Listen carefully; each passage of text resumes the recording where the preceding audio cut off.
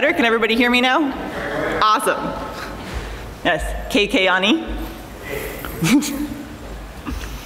Welcome back to worship at St. Andrew's United Church, an affirming and inclusive church located in downtown North Bay. For anyone who is here for the first time, a special welcome to you. We hope you'll stay afterwards and enjoy the coffee and conversation that we have and share a little bit more about yourself and so we can get to know you.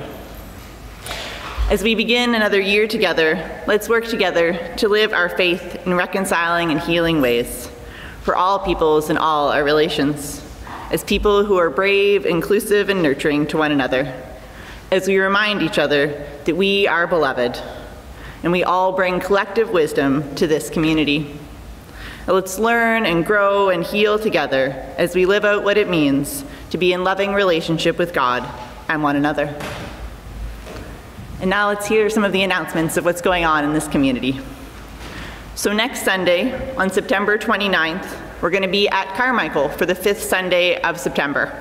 So it's going to be outside, but underneath a tent, and there's going to be a fire, and we're going to be invited to remember Orange Shirt Day or Truth and Reconciliation Day when we recognize the harm that came to many Indigenous children and the survivors that came from residential schools. There will be lunch provided, and there will be drumming, I hear, and it's going to be a really meaningful event, so I hope that you'll be a part of it. And now we also have an upcoming meeting as well that Lori's going to share about.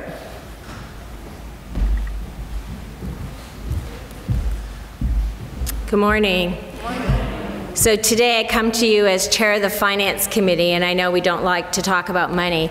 Uh, we've been looking at our statement for um, September, and our general bank account is a little lean to make payroll. Uh, what that means is in the past, we've had our food bank bank account into our general fund bank account. And the food bank has been supporting those lean kind of months when we're away for the summer. Um, so now we have a specific account for food bank. So now in our general account, it's sitting at just under 27,000. You can, wow, that's, that's a good balance.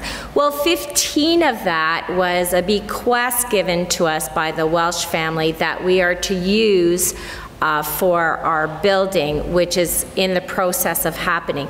So if you can do the math, that kind of puts you where the bank account. And another portion of those funds came in as a bequest um, for Bruce Fleming, and that's earmarked for the choir. So that leaves us with a balance around 11,000. Our payroll is 12,500. So there's a little bit of shortfall. So that being said, at council we decided that maybe we need to look at our investments with Asante, which are earmarked for programs at St. Andrews.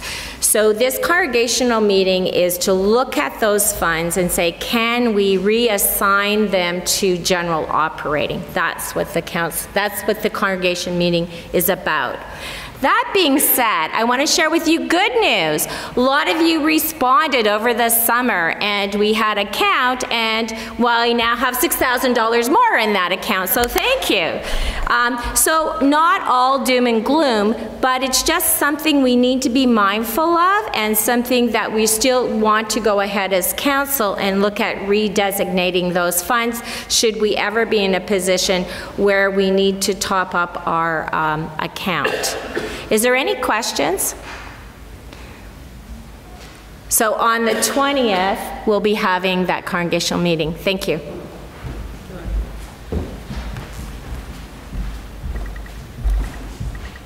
Thank you, Lori.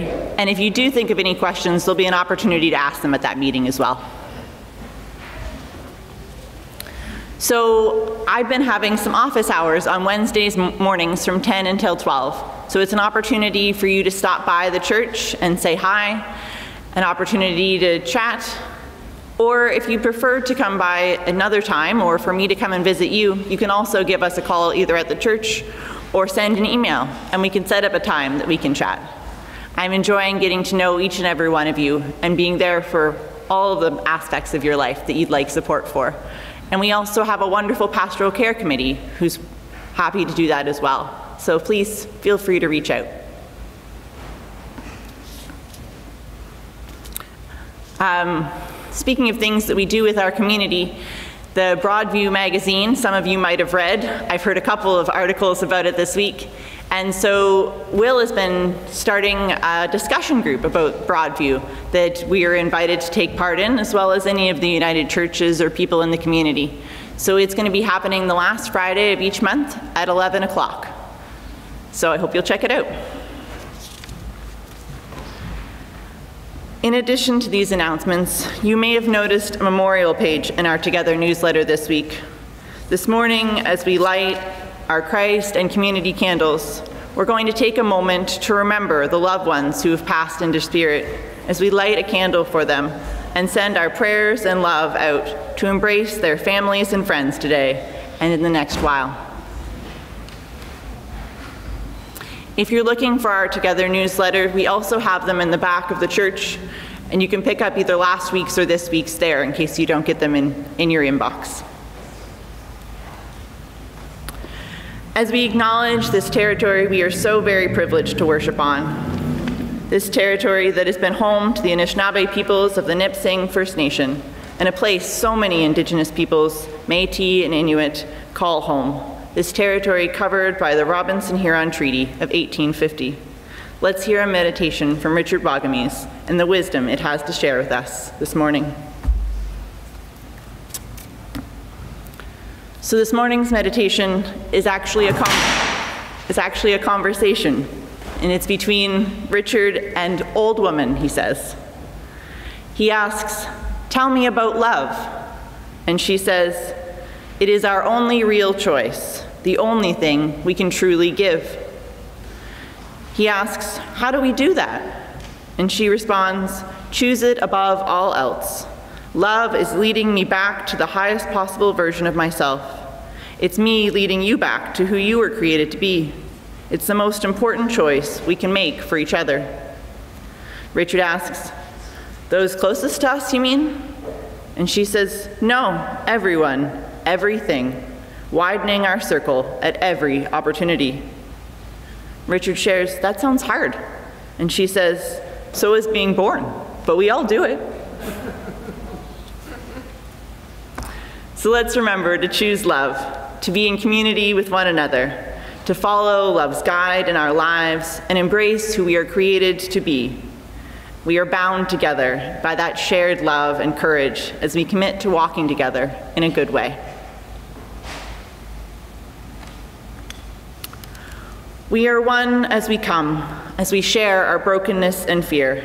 In the touch of a hand, there's a sense that God is here. We are one as we care, as we heal, we are healed.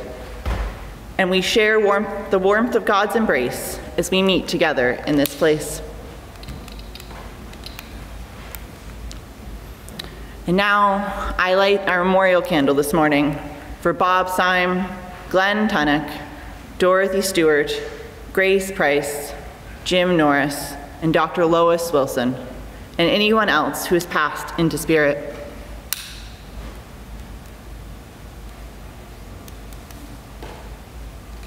Let us take a moment to remember them and to send our prayers and our love to their families and friends, embracing them with God's love and constant presence in all our lives.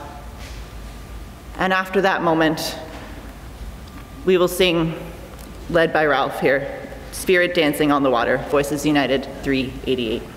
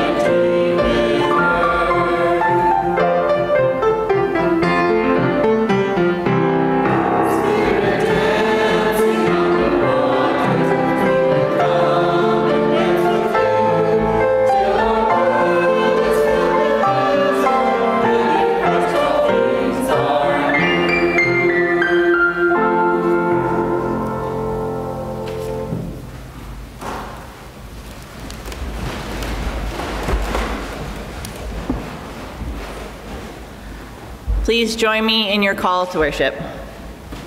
We gather as God's beloved children. However joyful, discouraged, or lost we may feel at times, we come together as people whom Jesus calls into community. Where the last shall be first, and all serve each other. Here we strive to be a place of welcome, cherish and cherishing and love. As we God thanks, pray, sing, and seek the guidance and wisdom of a creator whose creativity designed the universe and all life within it. Of Jesus, a companion and friend, whose living word and water sustains and nourishes us. And a Holy Spirit and bond of love whose love never ceases, a spirit that flows with wisdom in and through us all. For all of this and so much more, thanks be to God. And before we pray together this morning, I wanted to invite all of the young people who are here for Sunday school after we do our prayer and we sing our Lord's Prayer, you'll be invited to go down to Sunday school together. It's fun to get to say that, huh? Let's pray together. Loving God, as we come back together this fall, we reflect on the times we have been tempted to throw in the towel, felt like we've lost our way or gotten off track, and yet have kept going through it all. It isn't always easy to act with integrity or to be part of a diverse church community as your followers throughout all time have turned time and time again, trying to work towards your loving kingdom here on earth is hard, and at times we're tired. Compassionate and knowing friend, help us to remember and celebrate the wins, the times we feel like we've taken even small steps towards, towards you and your kingdom Open our hearts and minds to your wisdom in our lives and in creation all around us as we commit to, again, following you and your example. Your wisdom and the Holy Spirit are already so present in our lives, guiding and sustaining us always. Curious and bold Spirit, breathe curiosity and boldness into our lives strengthening the resilience you offer us as we continue to learn anew each day what it means to be wise. This we pray and we sing as you have taught us.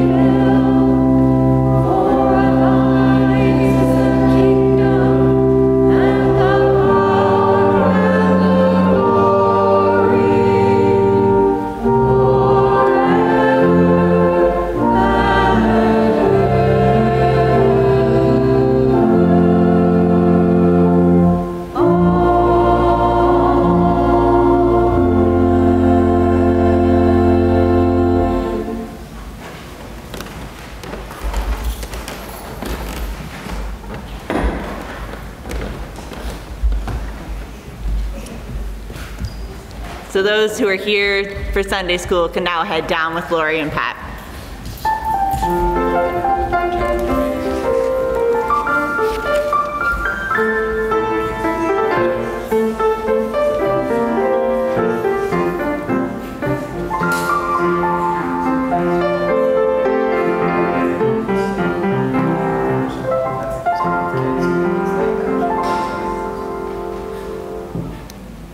First reading this morning is taken from the book of James, chapter 3, verses 13 to 18. Who is wise and understanding among you? Show by your good life that your works are done with gentleness born of wisdom. But if you have bitter envy and selfish ambition in your hearts, do not be boastful and false to the truth.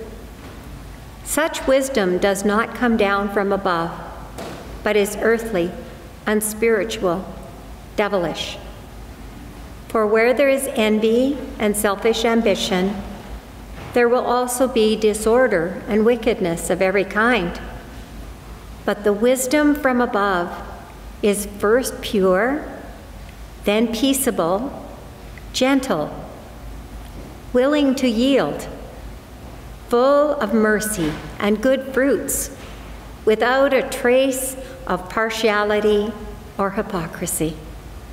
And a harvest of righteousness is sown in peace for those who make peace. Our second reading is taken from Mark chapter 9, verses 33 to 37. Then they came to Capernaum. And when he was in the house, he asked them, What were you arguing about on the way? But they were silent, for on the way they had argued with one another about who was the greatest.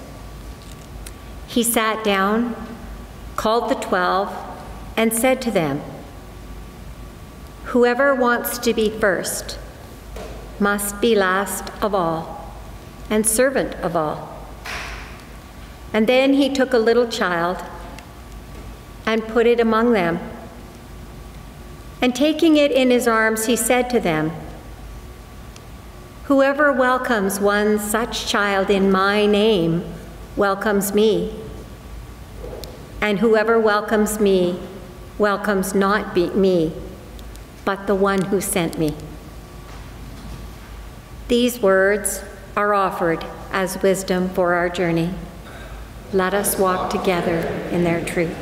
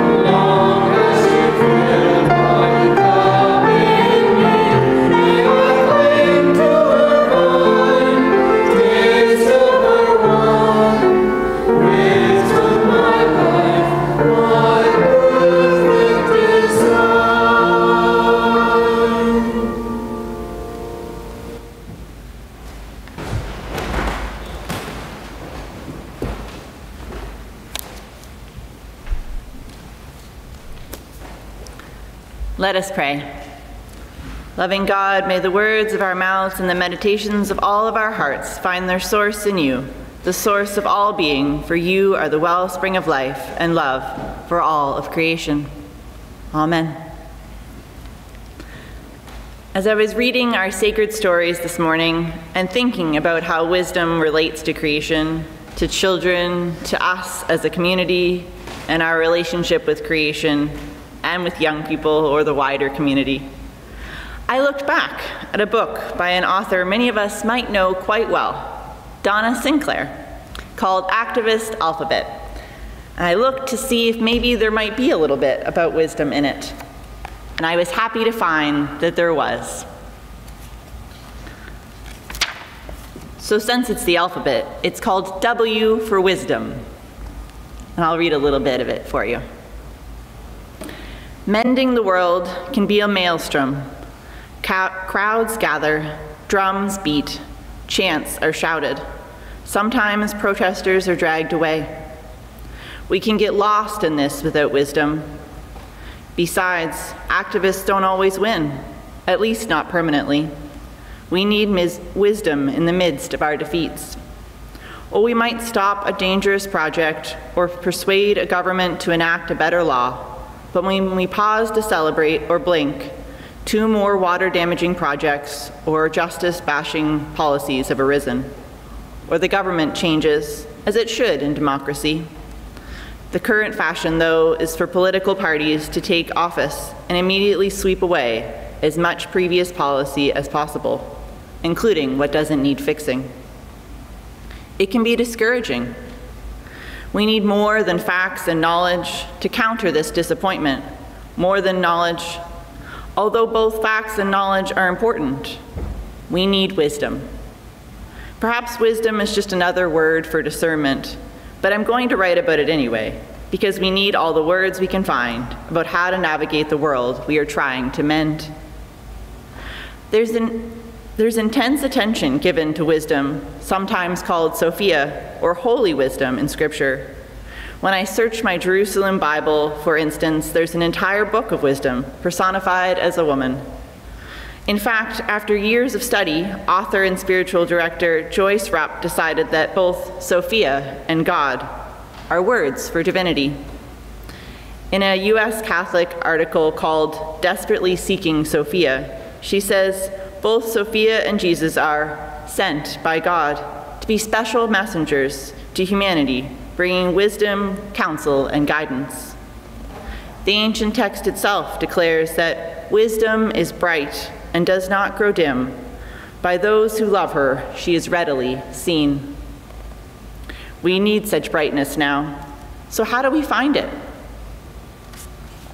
Well, as you can probably guess, Donna has an idea for that too. She says, Wisdom is found in a context greater than ourselves. She goes on to share a little story. A few years ago, professor and filmmaker a professor and filmmaker interviewed Alberta Billy, an Indigenous woman from the British Columbia who, painfully aware of the damage done by residential schools, challenged her national church to apologize to the First Nations people. The night before, she and the other Native members were to speak to cross-country gathering of churches, of church leaders in 1981. Billy says she remembered what her grandmother had, what her grandfather had said to her, that God had a purpose for you, but we don't know what the reason is. But she did know suddenly. The United Church has to apologize to us, she declared, startling her friends from the church's all native circle conference, admitting later that if we had discussed it, it might not have happened. Church leaders were even more surprised when she told them the next day I remember the look on the faces of the people involved, Billy says.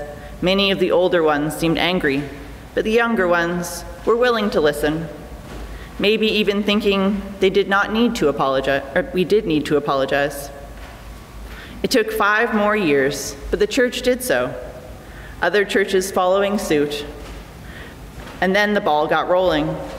It marked the beginning of an attempt by the nation's Christian churches to undo the harm of residential schools that broke the family circle and the destruction of all our ceremonies that kept us strong, happy, and healthy people. Wisdom is here. When Billy spoke to that executive meeting, she said she could feel her grandfather standing beside her. Although he had gone to the other side years before, I realized that was my purpose, she said. From this, I believe that wisdom can appear when we willingly submit to a trusted context greater than ourselves. For Alberta Billy, that context was her relationship with her ancestors, especially her grandfather. The churches had colluded with the government, but thanks to her grandfather, she recognized and accepted her role to declare with all the authority of a wise elder that they should take responsibility for their actions and act on the apology by helping us to heal.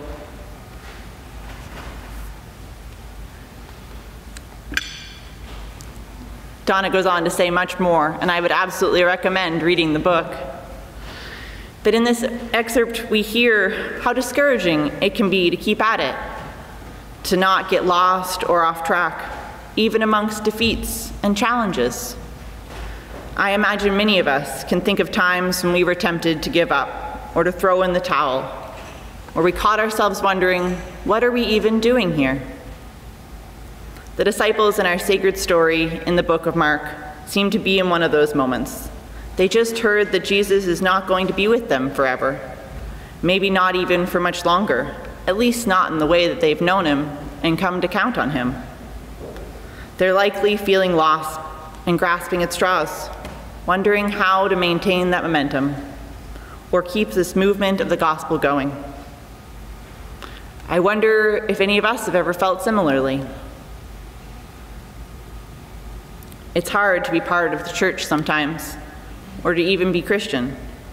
It is no longer assumed to provide the same moral standing it once did, at least by the wider society.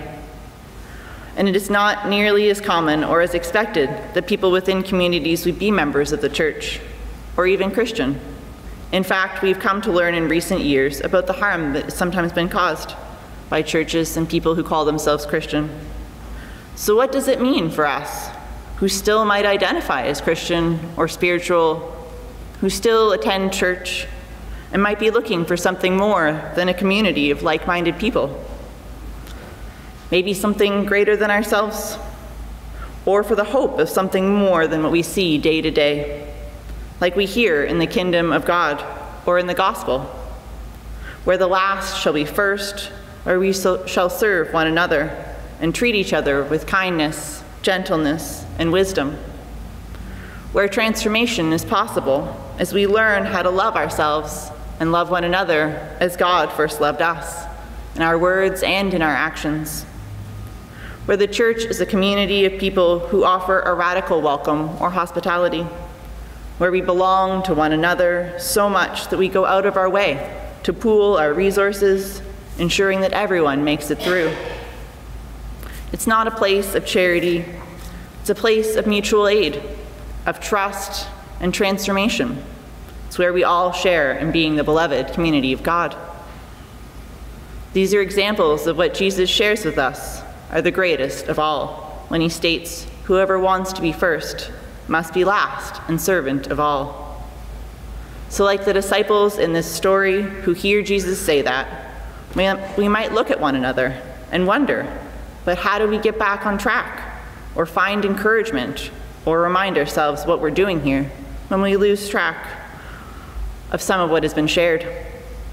Well, in the reading from Donna's book earlier, we hear a suggestion, one that reminds us that wisdom can guide us, and reminds us that wisdom is not only a quality that we see in the examples of gentleness, mercy, and peace, which are described in the book of James, but is also a part of the Trinity Wisdom or Sophia is often used as another name for the Holy Spirit, much like Creator is for God, or living Word, or living water for Jesus. The Holy Spirit is a part of the Trinity, often many of us connect to. Not surprisingly, since in the United Church of Canada Song of Faith, the Holy Spirit is the bond of love, a bond that connects us to God and to one another. And many of us share stories of how the Spirit speaks into each of our lives regularly. And when I say the Holy Spirit connects us to one another, I don't just mean humans either. I mean all of creation, all our relations. So I wonder what could happen if we opened our hearts and minds to the moving of the Holy Spirit in our lives, if we looked to the bond of love that connects us to God, one another, and creation as our guide. We hear in Donna's book and in the wisdom literature in our Bibles that wisdom is bright and does not grow dim. By those who love her, she is readily seen. Last week, we talked about how wisdom is a way of knowing and being that emerges through an opening of our heart and mind. In other words, it is within you, within the open and loving heart offered to us through faith. So I invite us to reflect on what puts us in touch with that part of ourselves, which connects us to God and the kind of love that brightens up our lives and guides us towards something greater than ourselves. Let's lean into those moments of pausing and lean into the ways and parts of ourselves as we interact and encounter all aspects of creation and the climate crisis all around us, and all the aspects of our relationships with one another and the wider community of North Bay and beyond. My dad often says to himself when we're trying to build a piece of IKEA furniture or something like that, he'll say, What would a smarter man do? And I don't believe that any of us necessarily need to be smarter or wiser, but I thought of that in this moment when we're trying to think of something beyond ourselves or outside of ourselves. You know, maybe there's a similar phrase that makes you smile, that reminds you of those things in that moment too. And if not, you're welcome to borrow that one. I'm sure Dad would love that.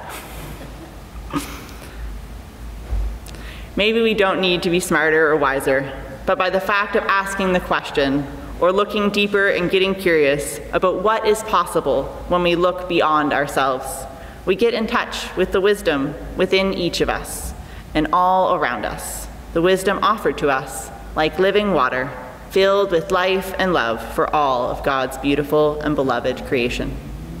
Amen.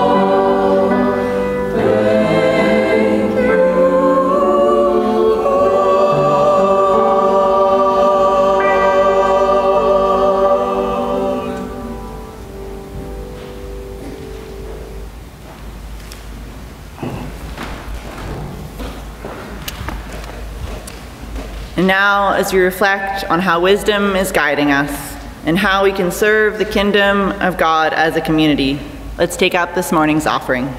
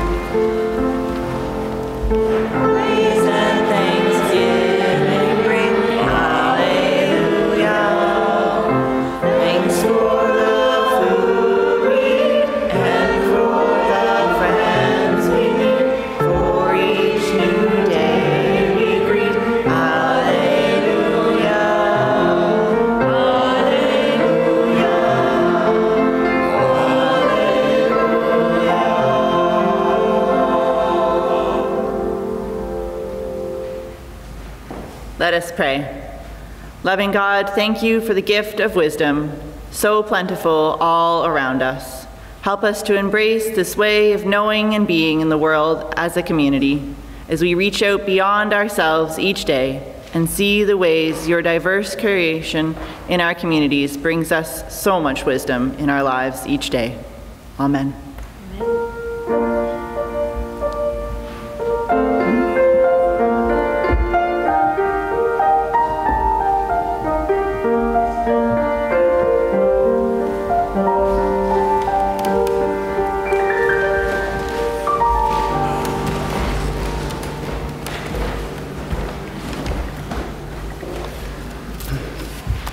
Good morning. Uh, would you pray with me now, please?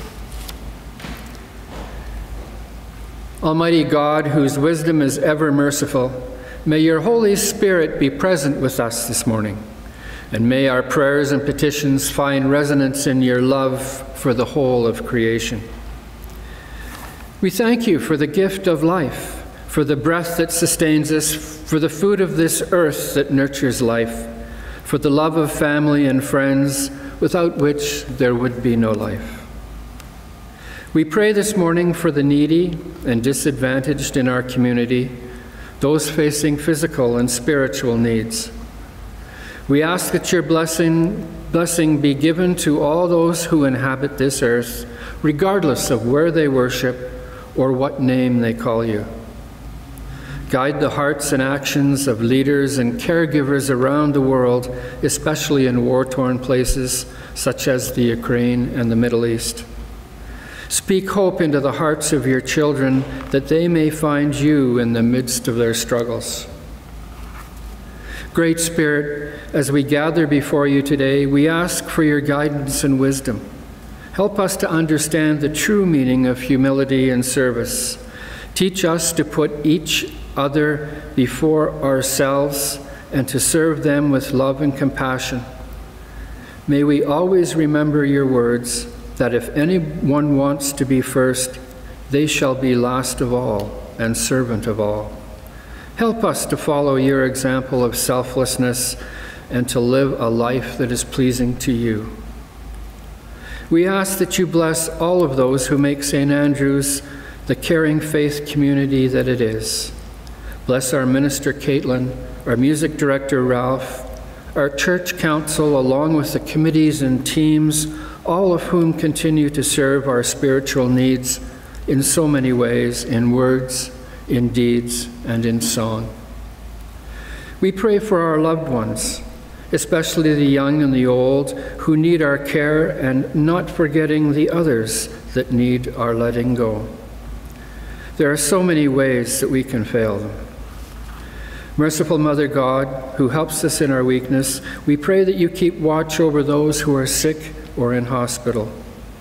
We particularly remember those whose names are listed in the St. Andrew's Prayer Corner Judy, Gary Jones, Don Viancourt, Cindy Brownlee, Elizabeth and Joanne Dufresne, Merv O'Brien, and Lorraine McInnes.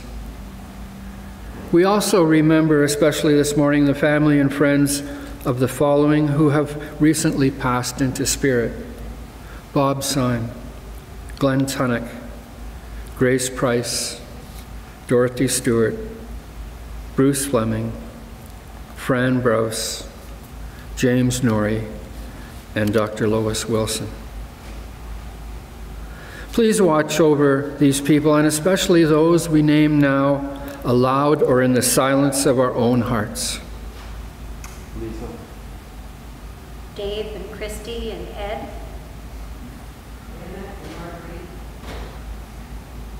Mike.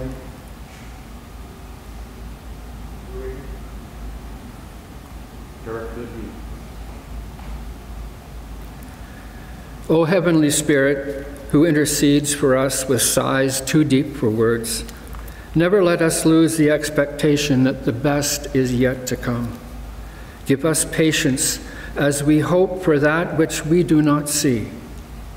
We long for the redemption and rebirth of creation, and it is through this hope that we find true salvation. All this we pray in Jesus' name. Alleluia and Amen.